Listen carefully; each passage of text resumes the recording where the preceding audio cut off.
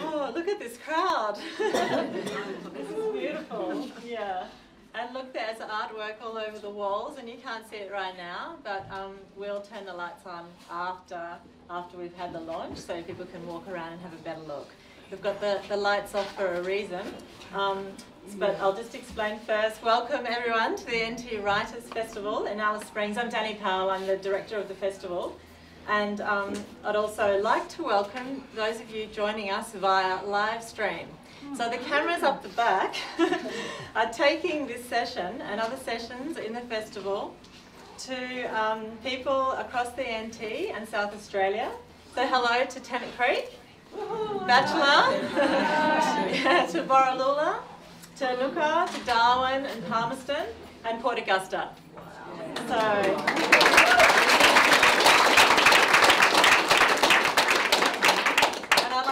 To thank the Australia Council um, for the Arts for the Festival Outreach Grant Program for enabling this. This is a pilot um, for us and it's a good pilot because um, so far we've, we've got a good uh, festival happening. Everyone's coming to events. It's been very exciting. Um, so firstly, I'd like to acknowledge the Arrernte people, the traditional owners of this country, in Mparntwe, where we're here today. I'll acknowledge the Arrernte elders past and present, and also the senior Arrernte people who are with us today. There are many. Thank you everyone for coming to the book launch of Ayeye thipe-akerte, Arrernte Stories About Birds. Stories written and painted by Teresa Ryder. The illustrations adorn the walls of this gallery. The book is, is, is over here on the table, so when the session's finished, you may even ask Teresa to sign the book for you buy the book and um, take it home and have a closer look and read the stories. But now um, I'm handing you over to Jodie Clarkson, who will talk about this beautiful book. Thank you. Good morning, everyone. Good morning, and well done, Danny and the crew, for pulling off this wonderful festival again. It's an honour to be sitting here beside Teresa this morning, one of our living treasures here in Alice Springs. Um, I work at the Arrernte Language Office on a Friday, working on some other projects. I did a little bit of work with Teresa, but Margaret Carew has done most of that work. So Margaret's um, got some words here for me to read out, so I'll start with that. This is from Margaret. Teresa, I'm sorry I can't be beside you today to help you launch your beautiful book, Yaya Kurda, Arrernte stories about birds. But I'm thinking about you from far away, and my spirit is here with you. This is a bit like how I always think about you every time I hear Chukich, the babblers, jumping around and carrying on outside my window. Or when I, when I hear Ngapa, the crow, calling in the morning before dawn, and remember the family members who have left us. And when I sit at work sometimes late in the day, I hear Iranda, the black cockatoos, as they settle in for the night. when I hear them, I think about how beautiful they are with their glossy black and red tail feathers. I also wonder what they taste like, because these are one of the birds you like to eat. I've learned so much about many things working with you on this project. You've been a patient language teacher and you've always taught me how to see things through your eyes. I thank you. I would also like to say thank you to all of the staff at Batchelor Institute in Alice Springs who have made Teresa welcome as one of our team. In particular, I'd like to mention DPC Elder in Residence, Harold Furber. Is Harold here this morning? Who backed the idea of setting up the Arrernte Language Office as a place where people can meet and work on language projects. I also say thanks to Mike Crow, who supported the Arrernte office while he was working at the DPC. Teresa's book, excuse me, is built around a stunning artwork. Thank you to Sarah Martin for digitally mastering these paintings. Big thanks to Christine Bruderlin for her professionalism and creativity in designing the book. Christine is the designer of choice for many of us who work on Aboriginal language books. And when you look at this book, you will see why. I honour her patience with us fussy linguists and the detailed proofreading that has been required to get the text right. Also say thank you to another fussy linguist, Jenny Green. who proofread the Arrernte text and helped with spelling and translations. The book has a companion app, and this means you can hear Teresa talking about the birds, and the birds talking about themselves and amongst themselves. You can find more information about this inside the book on the back page. The app has been created as part of the Getting in Touch project, a partnership between Batchelor Institute and the Research Unit for Indigenous Languages at the University of Melbourne. Thanks also to David Stewart, who recorded the bird calls that are on the app. David made sure we got calls that he, he recorded here in Central Australia, and so the sound of the app really are the sounds of this country. Thank you to everyone who has contributed to this project, including those who helped today. Um, Beth, thank you, and everyone who helped with lips. Have a great launch, everyone, and I hope you enjoy the cake. That's from Margaret. And just on the note of the cake, if anyone's looking for a cake, this cake was made by Angela Tranter and her business. And these cakes are made with love, so when you're eating this cake, you're not just eating a cake, you're eating love. you need a cake, this is just beautiful. so Teresa, this beautiful book, Ayeye thipe-akerte. Why did you do this beautiful book? What motivated you?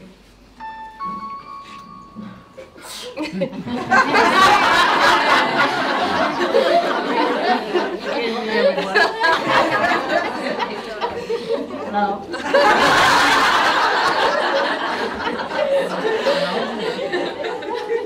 the old days, the birds were the messengers. I didn't hear the interview. Can you ring back later? pass it on to your secretary.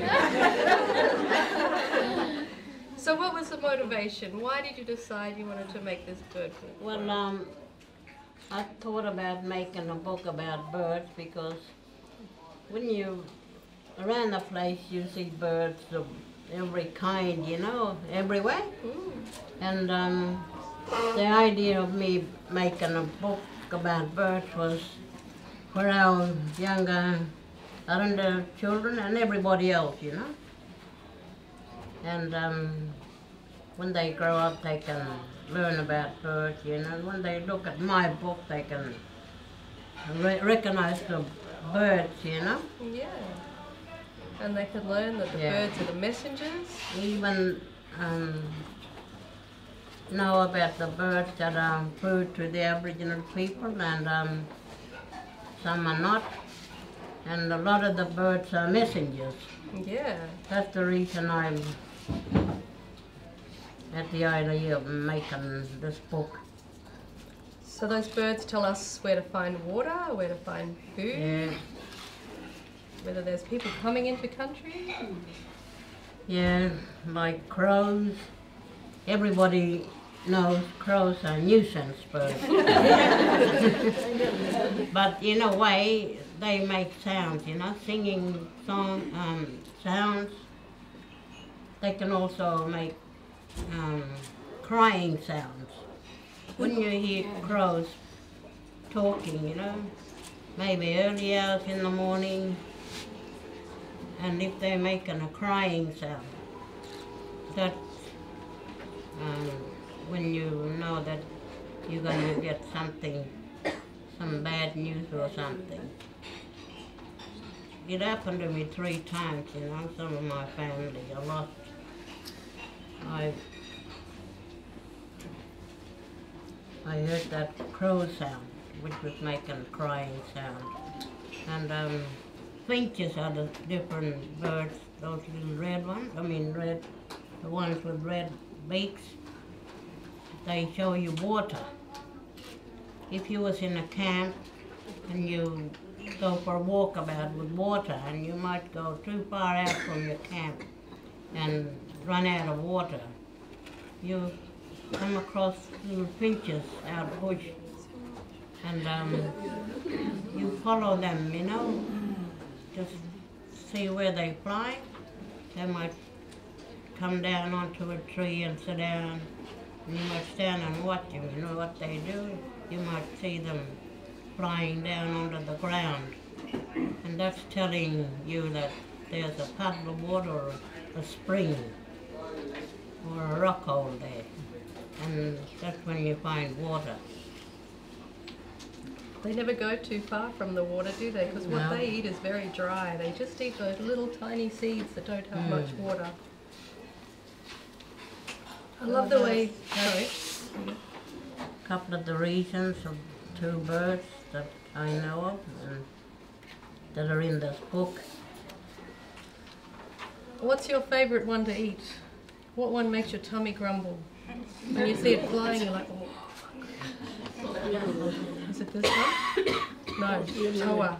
Toa, is that your favourite? That's my favorite. Yeah. A lot of people like the toa. Where is he? Everybody go out hunting for a There he is. I love the way with the toa here, you've captured its habitat, its country, its murra. Oh, You've also captured oh, its personality and how it's feeling right now. it's like, oh, I know trees wants to eat me, I'm out of here. so beautiful. So where did you, where were you born and where did you grow up, Teresa? I grew up on Todd River Station, that's east of Alice Springs. And what's your earliest memories of Thepa, of birds? I used to walk around with my uncle and my family, you know, go out bush, see different birds at times, and ask my old people what are the names of the birds, and they tell me, you know, they're food for us, and those other ones there, they're not food. They'll tell me like that. What about quara, the eggs? Did you sometimes eat the eggs of the birds? You know, No.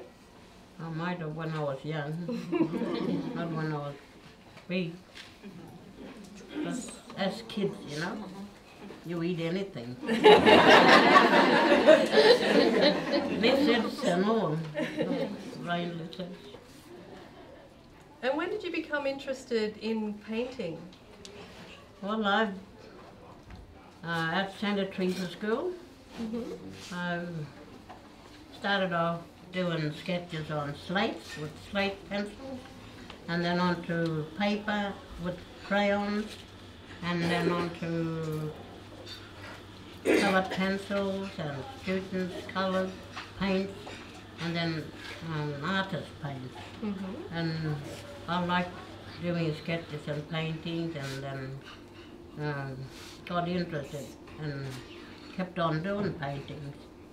I still do watercolour paintings today. They're so beautiful. So you have the front of the Arrernte language dictionary. That's one of your artwork, isn't it? Yep. And was painting birds, was that new for you? You've done a lot of landscapes.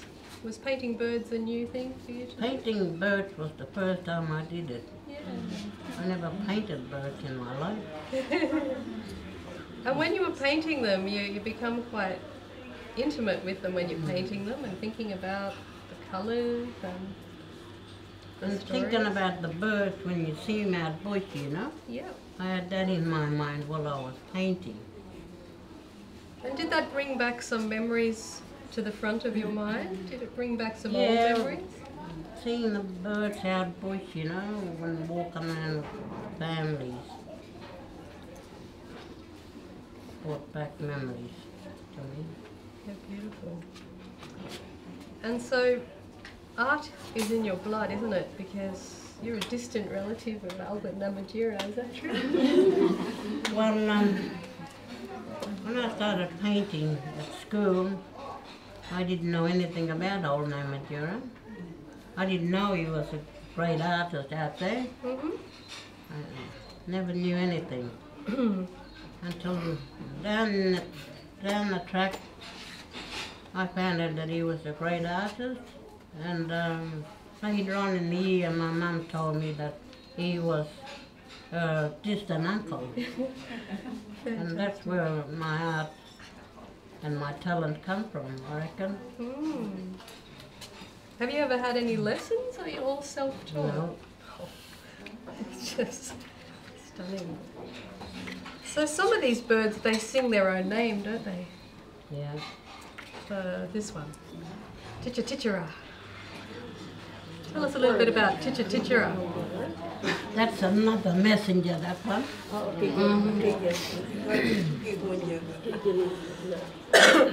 What does this one tell us when we see this little one? When you see um, Willie Wagtail, you know there's winter coming. And one afternoon I was sitting down in my house painting, and my cousin come over and sat down with me. She brought along uh, two granddaughters, seven and eight year olds, and I was doing trying to do painting, and they was distracting me, you know, running in and out of the house. And I said to to my cousin, "Give them icy pole and tell them to go outside." so they went outside. It was just before sundown, and um, little Willie Wagtail was outside flying around, you know. And um, so my cousin said, oh, better take these girls back because they're being nuisance. and when they went, um, they come in from the back door and they went out. I was sitting down on my own, then I could hear this little Willie Wagtail talk and talk and talk non-stop. I was thinking he might be seeing something outside, a snake or something, rat or something. And uh, I thought to myself, I better go and look, you know, find out what what's he making noise about. And when I went through the corridor to the laundry, that laundry door was wide open it was very dark outside that little Willie Wagtail was singing out for me, telling me the door was open. and then I talked to him about it. Thank you, thank you for reminding me. and when I shut the door, he flew away. He's a little messenger. Cute little one. You can talk to them with sandpaper and then they'll talk back to you if you're sanding something. Who else sings their own name? That's some of the reason I made this book about birds. Yeah. Hmm. Leah. So tell us about Leah, the emu. It's an important source of food. Did you see many growing up out in Eastern Not Arrernte country? Was there lots out there? Yeah. Yeah. Was it sort of a food that you ate very often? That's our main kura.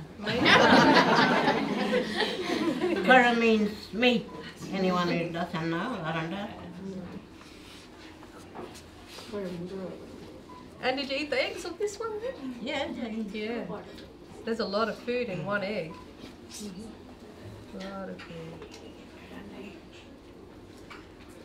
So when you look at this book and you see the bird in its home, it's so different to when you open up a Western bird ID book and you see a perfect example of a bird, but it just sits in this white empty space on the page. It's like the bird is part of a collection, a stamp collection. Whereas here, the bird sits in its home, it's part of its home. It's, it's beautiful and indicative of the different ways that we look at the world and how it's all connected. Who else sings their own name? I'm trying to think. Don't worry, bubble. Which ones? Oh, we talked a little bit about. A tithara. What do a tithara tell us? The budgerigars. Well, they just enjoy themselves in the bush.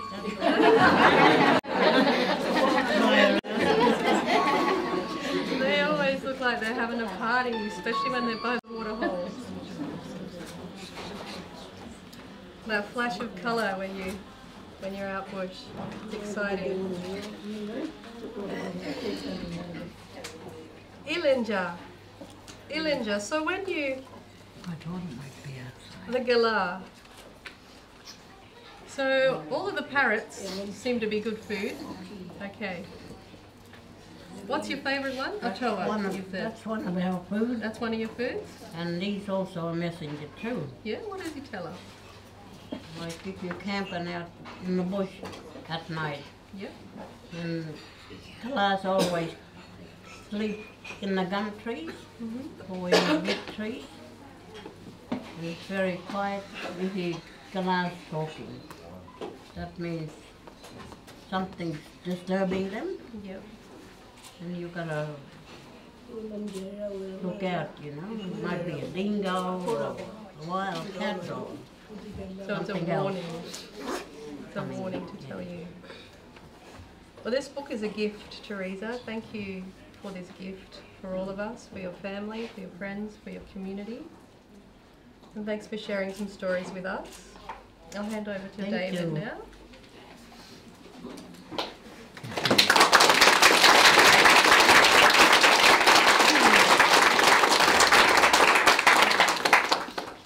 I think um, Teresa brings together in this book two things that I'm very fond of, and one is trying to learn language, the Islander language, which I've been trying and struggling with for many, many years. But, but in the way that it's set out in here with um, the English and um, and the Islander, it, it really brings the two things together, so you can actually connect.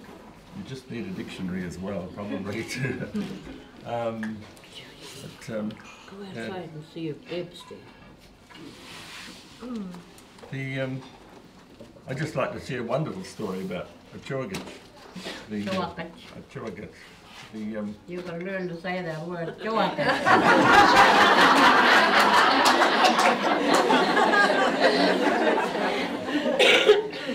got to finely tune my hearing. I think I'm saying it the same as you are, but I'm not. and um, on our property at Campfire in the Heart, we've got lots of them, and they're, they're just the most wonderful nesting birds, and they keep on building, building, building, building, and they all live communally.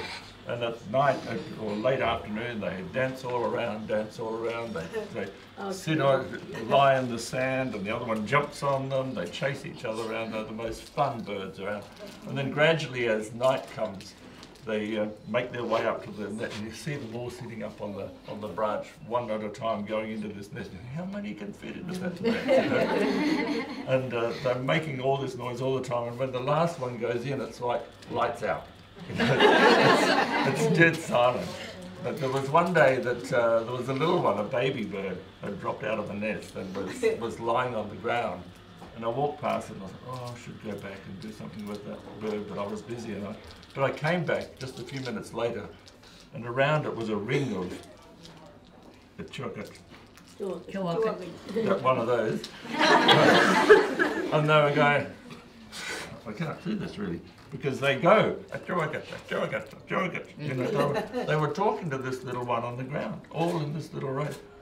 And it was amazing to see them. And then they, as they do, they that sort of hop away and they all together sat on a seat, a, sleeper seat over here. And they turned around together, joy get.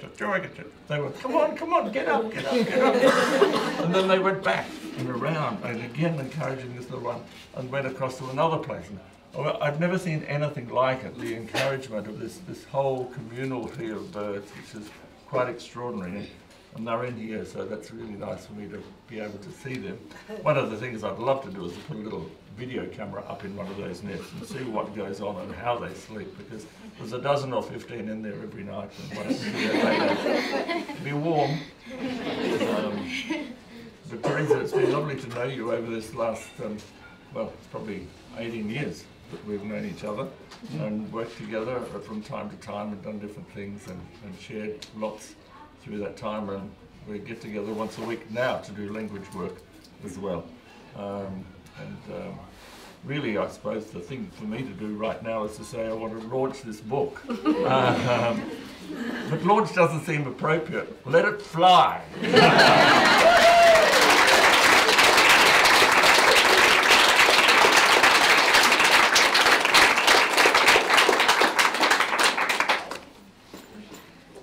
Oh, you just got a knife. There's a kitchen next door. That's very good. Where's Ollie? He might want to take some photos of this. So this is your job. Cut the cake and get a here with.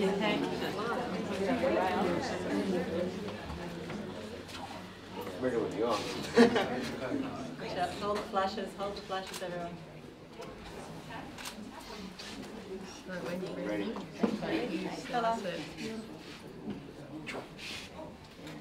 No flash photography.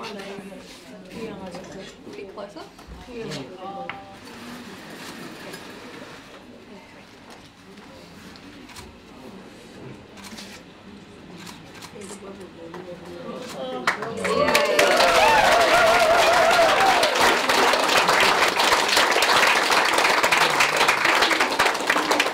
That's one thing more more that we should do is to, please, could you say the title of this book? Because we need to know what it is. Now, I would say a year Dapper Cook, a, a year story Dapper Cooker. Is that right?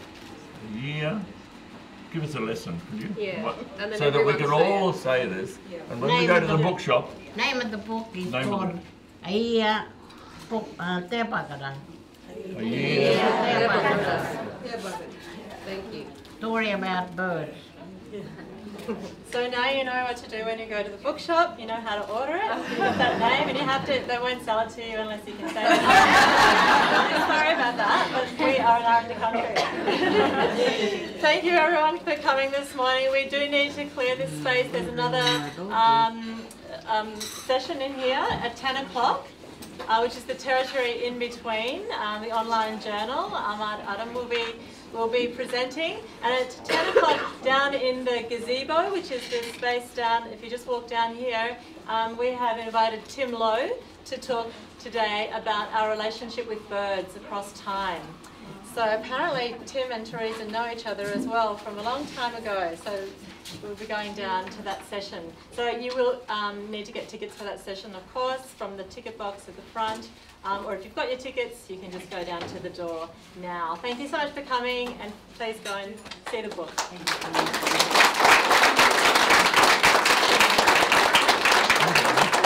we'll cut the cake, so maybe we can cut the cakes and then put it.